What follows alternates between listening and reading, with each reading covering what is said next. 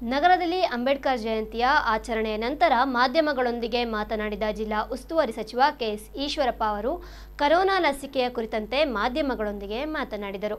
ಈಗಾಗಲೇ ಜಿಲ್ಲೆಯಲ್ಲಿ ಒಂದು ಲಕ್ಷದ ಅರವತ್ತಾರು ಸಾವಿರದ ಕೋವಿಡ್ ಲಸಿಕೆಯನ್ನ ನೀಡಲಾಗಿದೆ. ಇನ್ನೂ ಹೆಚ್ಚು ಜನ ಲಸಿಕೆಯನ್ನ ತೆಗೆದುಕೊಳ್ಳುತ್ತಿದ್ದಾರೆ.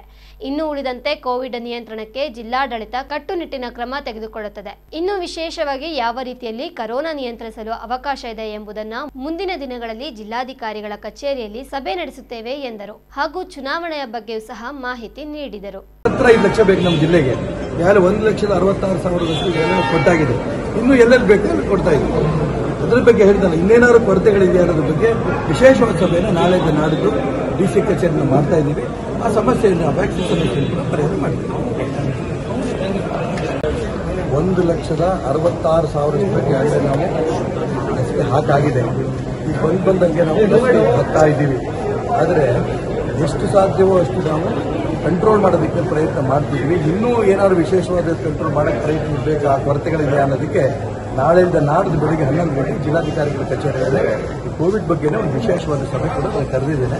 ಅಲ್ಲಿ ಜಿಲ್ಲಾಧಿಕಾರಿಗಳು ಉಳಿದಂಥ ಎಲ್ಲ ಇನ್ಫಾರ್ಮೇಷನ್ ತೊಗೊಂಡು ಬರ್ತಾರೆ ರಾಜ್ಯ ಸರ್ಕಾರದಿಂದಾಗಲಿ, ಕೇಂದ್ರ ಸರ್ಕಾರದಿಂದಾಗಲಿ ಅಥವಾ ಬೇರೆ ಬೇರೆ ಸಂಘ ಸಂಸ್ಥೆಗಳನ್ನ ಏನಾದ್ರು ಬಳಸ್ಕೋಬೇಕಾಗಿದ್ದಕ್ಕೆ ಎಲ್ಲ ಯೋಚನೆ ಮಾಡಿ ನಾಡಿದ್ದು ನಾಳೆಯಿಂದ ನಾಡಿದ್ದು ಈ ತೀರ್ಮಾನವನ್ನು ತಗೋತೀವಿ ಕಾಲ ಬೇಕಂದ್ರೆ ಬಿಜೆಪಿ ಭಯ ಇದೆ ಅಂತ.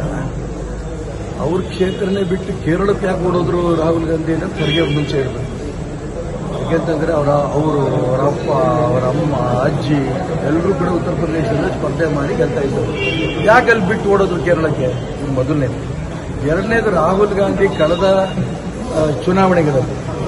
ಕರ್ನಾಟಕ ಇರ್ಬೋದು ಬೇರೆ ಬೇರೆ ರಾಜ್ಯದಲ್ಲಿ ಎಲ್ಲೆಲ್ಲಿ ರಾಹುಲ್ ಗಾಂಧಿ ಬಂದು ಕಾಲಿಟ್ಟಿದ್ದಾರೋ ಅಲ್ಲೆಲ್ಲವೂ ಕೂಡ ಕಾಂಗ್ರೆಸ್ ಸೋಲೆ ಉದಾಹರಣೆಗೆ ಇಪ್ಪತ್ತೆಂಟು ಲೋಕಸಭಾ ಕ್ಷೇತ್ರದಲ್ಲಿ ಕಾಂಗ್ರೆಸ್ ಒಂದು ಸೀಟ್ ಗೆಲ್ತು, ಬಿಜೆಪಿ ಇಪ್ಪತ್ತೈದು ಸೀಟ್ ಗೆಲ್ತು. ಏನು ಎಲ್ಲಾ ಕಡೆನೂ ರಾಹುಲ್ ಗಾಂಧಿ ಬಂದೋಗಿದ್ದೆ. ಎಲ್ಲ ಕಡೆ ನಾವು ಬಿಜೆಪಿ ನಾವು ಅದೇ ರೀತಿ ಕಳೆದ ಸಾರಿಗೆ ಕಾಂಗ್ರೆಸ್ ಸರ್ಕಾರ ರಾಜ್ಯದಲ್ಲಿ ಇತ್ತು. ಕಾಂಗ್ರೆಸ್ ರಾಜ್ಯ ಸರ್ಕಾರ ಹೋಗ್ಬೇಕಾದ್ರೆ ಎಲ್ಲೆಲ್ಲಿ ರಾಜ್ಯ ಮಾನ್ಯ ರಾಹುಲ್ ಗಾಂಧಿ ಅವರು ಬಂದೋದ್ರು ಚಾಮುಂಡೇಶ್ವರಿ ಸಿದ್ದರಾಮಯ್ಯ ಕ್ಷೇತ್ರದಲ್ಲೂ ಬಂದರು, ಅಲ್ಲೂ ಸೋತೋದ್ರು ಸಿದ್ದರಾಮಯ್ಯ.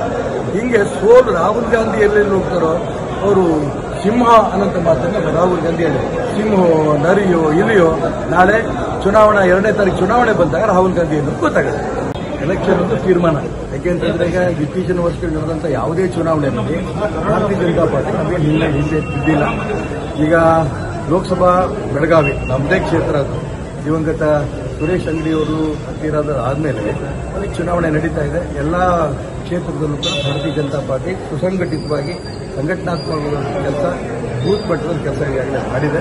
ಜೊತೆಗೆ ಕೇಂದ್ರ ಸರ್ಕಾರ ಮತ್ತು ರಾಜ್ಯ ಸರ್ಕಾರ ಅಭಿವೃದ್ಧಿ ಕಾರ್ಯಗಳು ವಿಶೇಷವಾಗಿ ಸುರೇಶ್ ಅಂಗಡಿಯವರು ಪ್ರತಿ ಹಳ್ಳಿನಲ್ಲೂ ಕೂಡ ಒಂದಲ್ಲ ಒಂದು ಕೆಲಸಗಳು ಮಾಡ್ಕೊಂಡು ಬಂದಿರೋದ್ರಿಂದ ಲೋಕಸಭಾ ಚುನಾವಣೆಯಲ್ಲಿ ಬೆಳಗಾವಿ ಗೆದ್ದೇ ಗೆದ್ದಿದೆ ಇನ್ನೆರಡು, ಒಂದು ಬಸವ ಕಲ್ಯಾಣ ಮತ್ತು ಮಸ್ಕಿ ಎಲ್ಲೂ ಕೂಡ ಇವರೆಲ್ಲ ಅಬ್ಬರ ಮಾಡ್ತಿದ್ದಾರೆ, ಕಾಂಗ್ರೆಸ್ನವರು, ಜೆ ಡಿ ಎಸ್ನವರು. ಏನೇ ಅಬ್ಬರ ಮಾಡಿದ್ರು ಕೂಡ ಎಲ್ಲ ಕಡೆ ಮೂರು ಕ್ಷೇತ್ರ ಭಾರತೀಯ ಜನತಾ ಪಾರ್ಟಿ ಗೆಲ್ತಾರೆ